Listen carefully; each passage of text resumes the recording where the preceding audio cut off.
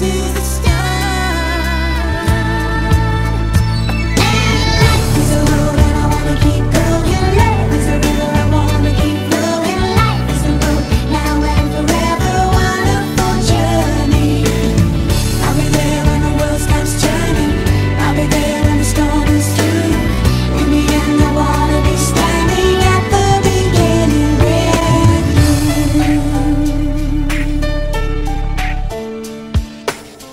We were strangers on a crazy adventure.